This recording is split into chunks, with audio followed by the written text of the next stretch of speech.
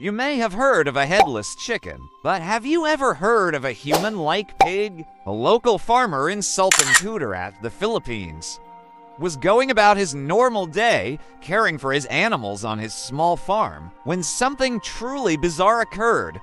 One of his female goats was ready to give birth, but what came next, no one could have predicted. The veterinarian made an incision and began pulling out the twins, but the second baby left everyone in shock. It appeared to be a disturbing mix of human and pig.